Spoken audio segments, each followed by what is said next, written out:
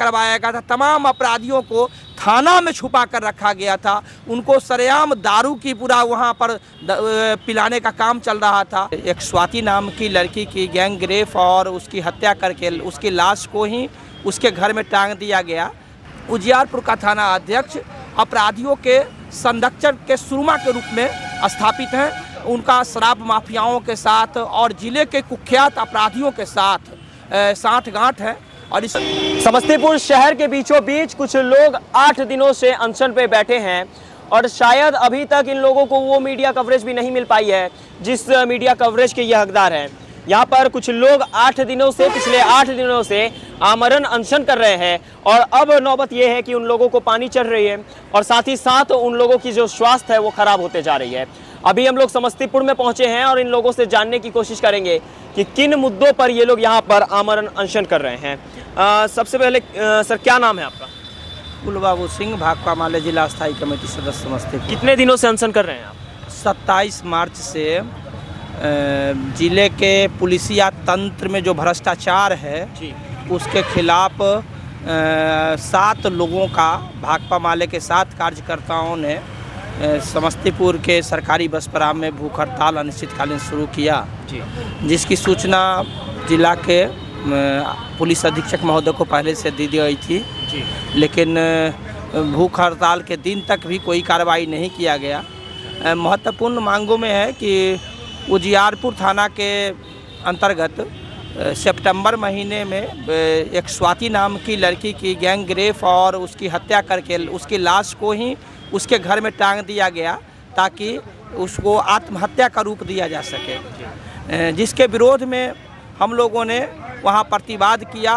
स्वयं थाना अध्यक्ष अनिल कुमार हैं, वो उसमें संलिप्त है, अपराधियों को संरक्षण दे रहे हैं और तत्कालीन एसपी के समक्ष भी हम लोगों ने घेरा प्रदर्शन किया था, वहाँ थाना का भी घेरा प्रदर्शन किया गया।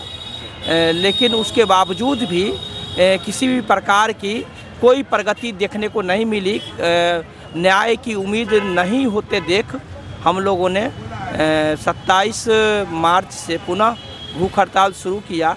लेकिन अभी तक वहाँ के थाना अध्यक्ष को नहीं हटाया गया है। हम लोगों का स्पष्ट मानना है कि उजियारपुर के थाना अध्यक्ष को रहते स्वाति गैंग रेप और हत्या मामले में न्याय नहीं मिल सकता। अभी तक सुपरविजन रिपोर्ट को सार्वजनिक नहीं किया गया, किसी भी अपराधियों की गिरफ्तारी नहीं हुई।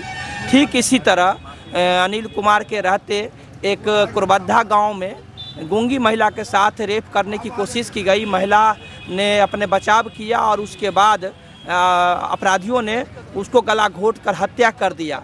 लेकिन उस मामले में भी मुख्य अभियुक्त जो अपराधी हैं उसकी आज तक गिरफ्तारी नहीं हो सकी है। तो इस तरह उजियारपुर का थाना अध्यक्ष अपराधियों के संरक्षण के सुरमा के रूप में स्थापित हैं। उनका शराब माफियाओं के साथ और ज़िले के कुख्यात अपराधियों के साथ अ, साठ गांठ है।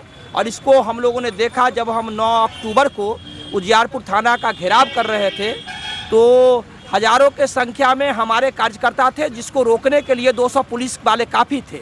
लेकिन जिला के कुख्यात अपराधी, जो बैंक लूट में शामिल हैं जो अपराधी सोना चांदी के दुकान के लूट में शामिल हैं जो शराब के बड़े बड़े धंधेबाज हैं ऐसे तमाम अपराधियों को वहाँ इकट्ठा करके भाकपा माले के ऊपर हमला करवाने की बड़ी तैयारी थी थाना द्वारा करवाया गया था? पुलिस के द्वारा करवाया गया था। तमाम अपराधियों को थाना में छुपा कर रखा गया था। उनको सरेआम दारू की पूरा वहाँ पर पिलाने का काम चल रहा था।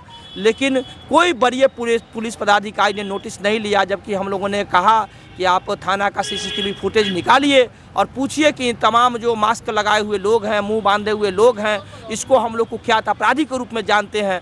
तो आपके पुलिस वाले आखिर किस रूप में जानते हैं? आप देख रहे हैं कि नए एसपी के आमने के बावजूद भी एक महीना के अंदर पाँच बैंक को लूट लिया गया है। अपराधियों के अंदर में डर भय का माहौल नहीं है। इसका मतलब है कि नीचेले स्तर पर जो थाना अध्यक्ष लोग हैं, वो अपराधियों को संरक्षण दे रहा है।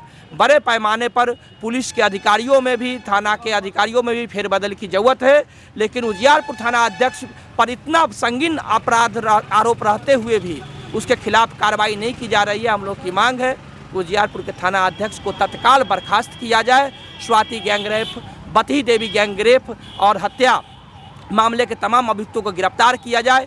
इसके अलावे ज़िले में जो पड़ रहे हैं अपराध उस पर तत्काल रोक लगाई जाए और अन्य किस्म के जो भी मामले हैं जो मांग पत्र में दिए गए हैं उस पर त्वरित कार्रवाई किया जाए न्याय दिलाया जाए। कब तक आप लोग यहाँ पर ऐसे बैठे रहेंगे? बस ये अनिश्चितकालीन भूख हड़ताल है। जब तक न्याय नहीं मिलता है तब तक ये भाकपा माले का आंदोलन जारी रहेगा। भाकपा माले भी अपना एक कदम भी पीछे नहीं हटाएगी। इसी के द्वारा कोई आश्वासन दिया गया कि आप चलिए हम लोग आपके साथ मिलकर कार्रवाई करते हैं। आपने जो मांग पत्र दिया है उसको देखते हुए उसको निगरानी में रखते हुए हम लोग कार्रवाई करते हैं ऐसा कोई आश्वासन मिला अभी तक?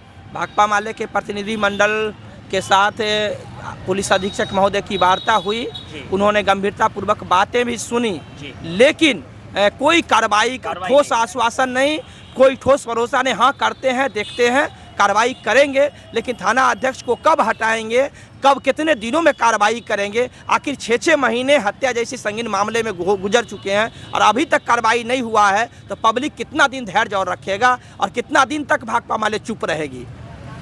बाकी यहाँ पर लोगों को देखा जाए तो कुछ लोगों को पानी चढ़ रहा है। ये लोग आठ दिनों से यहाँ पर आमरण अनशन कर रहे हैं, यहाँ पर बैठे हुए हैं और शायद इस तपती गर्मी में ये लोग यहाँ पर बहुत ज़्यादा प्रताड़ित होने के बाद यहाँ आए हैं।